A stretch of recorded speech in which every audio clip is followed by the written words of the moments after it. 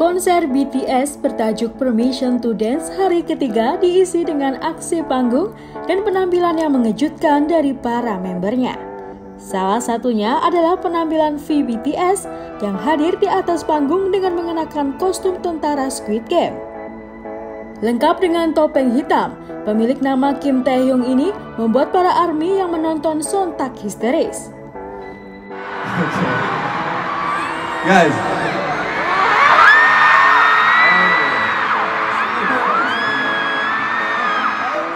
hanya aksi V yang menyita perhatian, kehadiran penyanyi Halsey di tribun VIP pun menjadi buah bibir. Pelantun lagu Without Me tersebut nampak menikmati konser. Seusai konser, Halsey membagikan foto bersama dengan seluruh member BTS di akun Instagram pribadinya at dan menyebut BTS sebagai boyband terkeren di dunia pada akun Twitternya Halsey.